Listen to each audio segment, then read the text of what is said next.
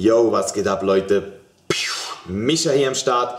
Und bevor es mit dem Video losgeht, muss ich euch einfach mal was sagen. Ich bin verdammt gut gelaunt aus zwei Gründen. Erstens mal, mein Leben läuft einfach, wie es sein sollte. Alles stimmt, ich bin happy. Und jetzt kommt's. 50.000 Subscriber auf YouTube seit heute. Nicht mal ein halbes Jahr ist es her, als ich mich entschieden habe, für euch einen deutschen Kanal zu machen. Wie die einigen von hier schon wissen, ich habe damals ja nur deutsche Videos, äh, nur englische Videos gemacht. Auf jeden Fall, seit heute bin ich im 50.000er Club und das habe ich vor allem euch zu verdanken, den ganzen Support, die ganzen Leute, die meine Videos immer liken, die ganzen Leute, die immer meine Videos teilen, die über mich reden. Ich danke euch von ganzem Herzen. Wir machen genauso weiter. Ich bleibe auf Kurs. Ich verspreche es euch. Und äh, dazu kommt, dass ich am Montag Geburtstag haben werde. Ich werde 23 und ähm, da ich eigentlich nicht so der Typ bin, der gerne Geburtstag feiert und auch nicht wirklich so auf Geschenke aus bin, habe ich gedacht, ich nutze die Möglichkeit und feiere diese zwei Sachen mit euch und mache euch ein Geschenk. Das heißt, jeder, der von jetzt bis zum 27. mein Lean Bulk System bestellt, bekommt, wie damals bei der Weihnachtsaktion, einen 40 Euro Gym Aesthetics Gutschein von mir. Guckt mal an, dieses Teil würde ich euch empfehlen zu kaufen. Das ist jetzt das neue Military Look Ding. Absolut genial. 40 Euro Gutschein geht an euch, wenn ihr von heute aus, das heißt heute, was ist heute? Der 23. wenn ich mich nicht täusche, bis zum 27. Januar. Das heißt, wenn ihr in diesem Zeitraum bestellt, bekommt ihr diesen Gutschein von mir. Natürlich nur bei Vollzahlung, also nicht bei Teilzahlung. Und das ist mein Dankeschön an euch. Und wie gesagt, wenn ihr heute noch einsteigt, gebt nochmal ordentlich Gas bis zu FIBO. Und wenn ihr es nicht zur FIBO schafft, schickt mir auf jeden Fall Transformation-Bilder. Ich bin immer wieder sehr froh, wenn ich da sehe, wie die Leute Fortschritte machen mit meinem Programm. Es ehrt mich wirklich sehr. Und ja, das war es jetzt eigentlich auch schon. Einfach mal, dass ihr das noch gehört habt.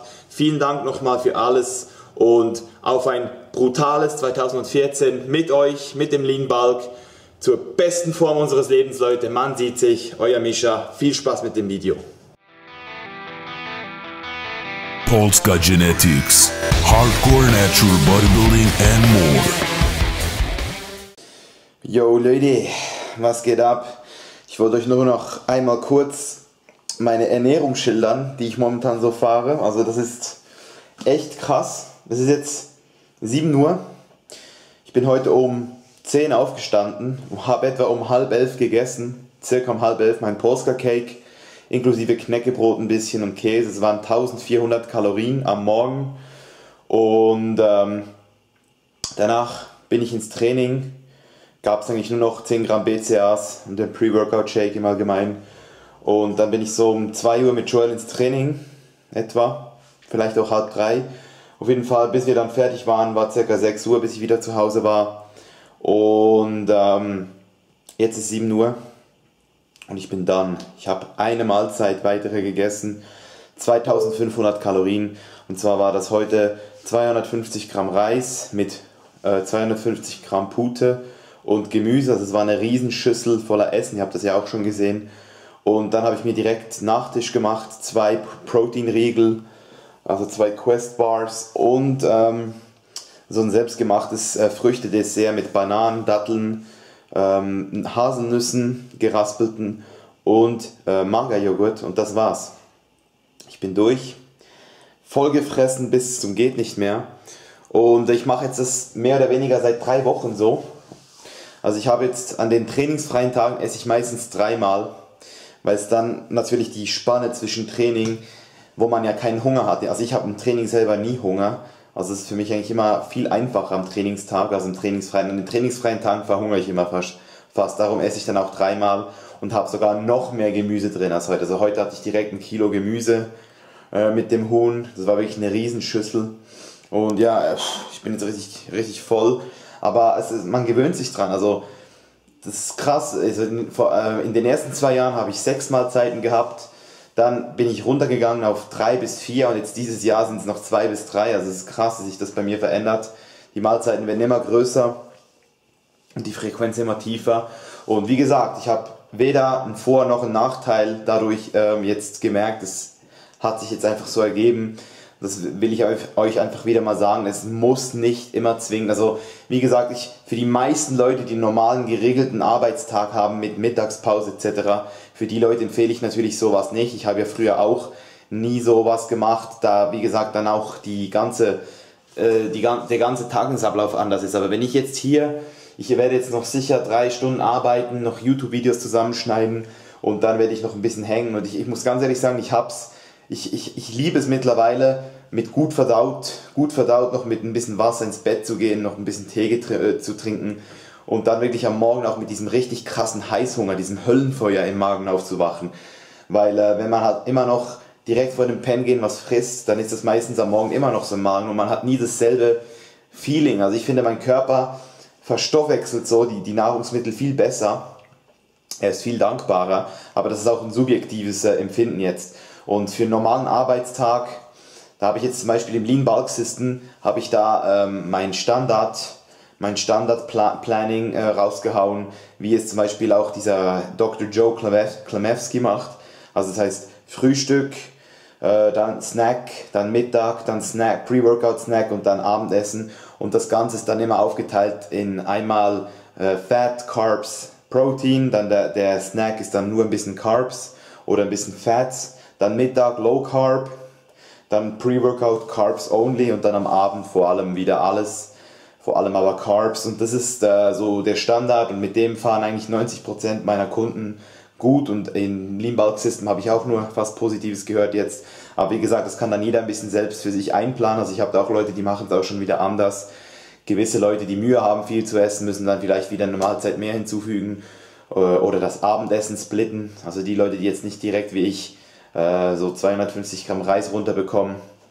Aber einfach, dass ihr das auch wieder mal gehört habt, jeder kann sozusagen eigentlich essen, wie er will. Er kann eigentlich seinen Rhythmus. Äh, Leute, die jetzt immer sagen, ja, Mittag habe ich absolut keine Zeit oder ah, ich mag einfach dieses, oder die Leute, die sich gezwungen fühlen, in der Mensa zu essen und aus irgendeinem Grund, wie auch immer, äh, halt nichts vorkochen können oder wollen oder oder keine Zeit, auch keine Zeit für das haben, dann macht es einfach so wie ich. Esst am Morgen eine riesen Mahlzeit und dann gibt es einfach am Abend wieder Essen. Und es, ihr werdet sehen, euer Körper stellt sich darauf ein. Solange das Wohlbefinden abgesichert ist, ist es in meinen Augen sehr, sehr, sehr sekundär, wie, das Mahl, wie die Mahlzeitenfrequenz aussieht. Also von wegen Muskelverlust oder Nacht, am Morgen früh direkt äh, also wie gesagt, ich brauche am Morgen das Essen, aber es, es, gibt auch Leute, die essen. Jetzt zum Beispiel der Eda, der hat für sich herausgefunden, dass er am Morgen keine Carbs braucht und sie dann lieber vor, vor dem Training und nach dem Training einstreut. Aber das ist nicht, das ist auch nicht unbedingt richtig für jeden. Also wenn ich einen Kunden habe, dann würde ich dem nie direkt einfach was aufschwatzen wollen. Ich gebe dem meine Empfehlungen und entsprechend von diesen Empfehlungen kann er es dann mal ausprobieren und mir dann auch sagen, was nicht passt und dann passen wir es an. Also wenn euch ein Coach sagt, macht was so und nicht anders, dann ist es ein schlechter Coach, der nicht auf euch eingeht. Wie gesagt, was Mahlzeitenfrequenz betrifft und Timing, da ähm, scheinen sich die Geister wohl mehr als bei jedem anderen Thema.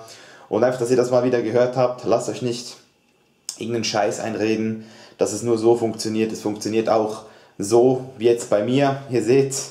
Und äh, bei mir hat sich das, wie gesagt, vor allem so ergeben durch den neuen Tagesrhythmus, dass ich ein bisschen länger schlafe und in der, ich sag jetzt mal, in der Spätzeit ein bisschen länger arbeite und vor allem jetzt auch zu einer Zeit trainiere, wo es eben nicht so ähm, ja, nicht so konventionell ist, so am Nachmittag.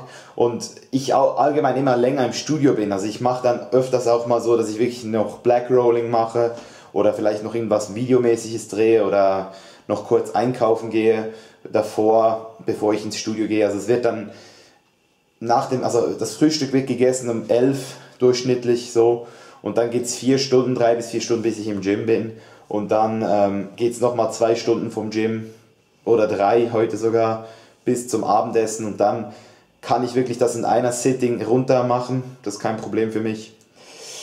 Und eben, wenn ich trainingsfrei habe, dann gibt es am Morgenessen, am Mittag wie immer Low Carb, einfach einen Riesensalat mit Chicken und noch zum Dessert so ein bisschen was Fettiges, so ein Mandelmus oder ein paar Nüsse. Und dann am Abend wieder Bombe, einfach riesen viel essen. Äh, cyclen tue ich momentan auch nicht, meine Carbs. Also das heißt, ich habe jeden Tag, auch ob ich trainingsfrei habe, habe ich 5,25 und ähm, funktioniert auf jeden Fall blendend bei mir. Und ja, damit habt ihr jetzt ein kleines Update bekommen von meinem Essen. Muss jetzt nicht heißen, dass ihr es auch so machen müsst, aber wie gesagt, versuchen kann man es immer mal. Ist ja schon fast IF, was ich jetzt mache, also Inter, Intermediate Fasting oder ich, spreche es glaube ich falsch aus, aber auf jeden Fall IF könntet ihr, ähm, sieht ja so aus, dass man 8 Stunden isst und 16 Stunden fastet und das kommt bei mir eigentlich schon fast hin, wenn ich um 11 meine erste Mahlzeit esse und dann erst wieder, also beziehungsweise von 11 bis und dann um 7 bin ich fertig, dann sind das ja ein bisschen mehr, ein bisschen mehr als 8 Stunden, aber nee, es sind genau 8 Stunden. Und dann jetzt esse ich bis 11 wieder nichts, von 7 bis 11, das sind dann auch wieder 12 Stunden, 16 Stunden. Also für mich passt's. Und ja, das war's jetzt, Leute. Man sieht sich. Bis zum nächsten Mal. Peace out.